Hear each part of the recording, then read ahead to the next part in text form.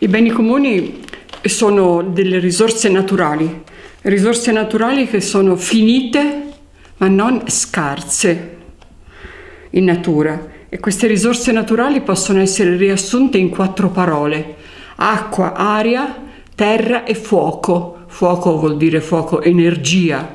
Queste quattro parole sono importanti perché riassumono tutte le risorse naturali come erano ai tempi in cui il filosofo eh, Empedocle nel V secolo a.C. formulò questa eh, frase, ma lo sono ancora oggi dopo tanti secoli perché all'interno di queste risorse ci sono tutte le nuove risorse che noi stiamo usando. Queste risorse sono state nel corso del tempo totalmente, quasi totalmente privatizzate, rimesse sul mercato come se fossero qualsiasi altra merce senza nessuna considerazione del fatto che esse sono invece le risorse di sostegno della vita. Senza acqua, aria, terra ed energia, la vita, non la nostra vita degli esseri umani, la vita in generale sulla terra finirebbe.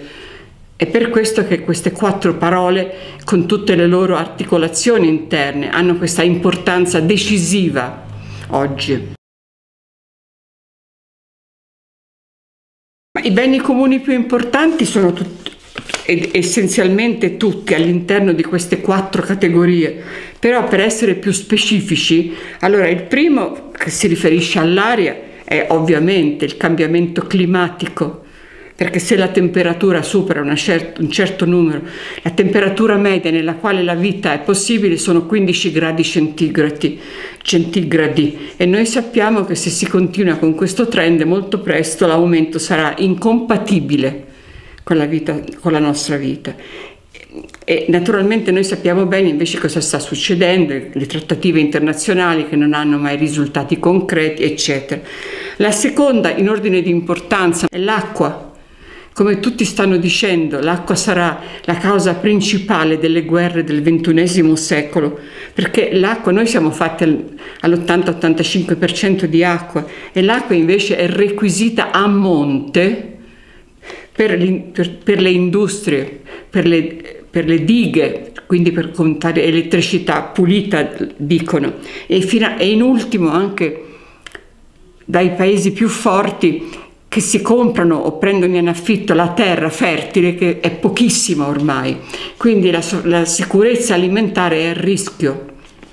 E l'acqua è fondamentale in questo.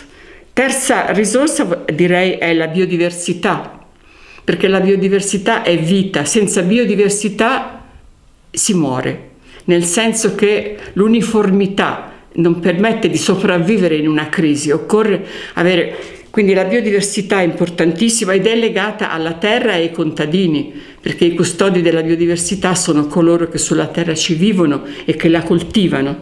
E infine appunto la terra, ma come ti sarai accorto ho citato tutte e quattro le parole di Empedocle, però in una loro particolare accezione.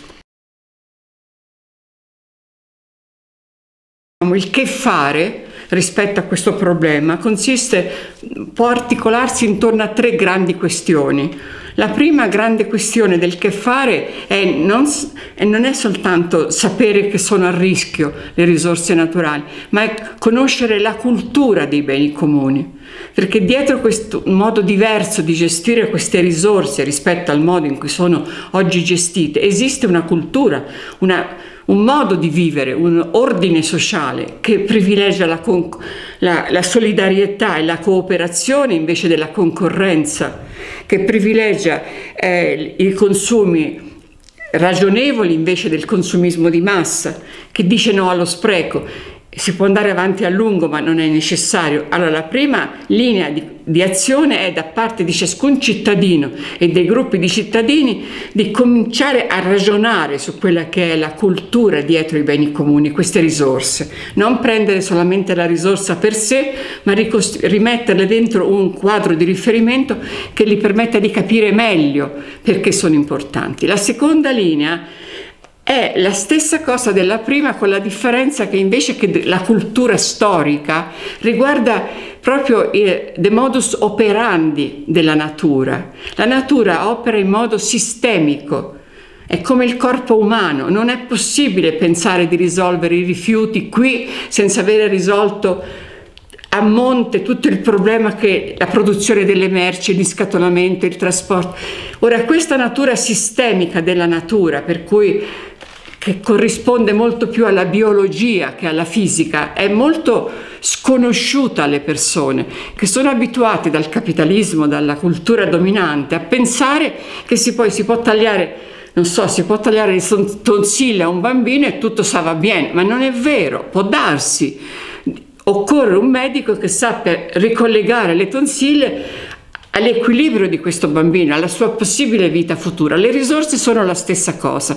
Allora qui c'è una cultura ecosistemica del modo, cui, del modo operandi della natura che noi non lo studiamo a scuola, che è contro la, il paradigma dominante ed è una grandissima questione di, di, di, conoscenza che credo ci può arricchire tutti e lo possiamo fare ciascuno per conto nostro e poi tutti insieme.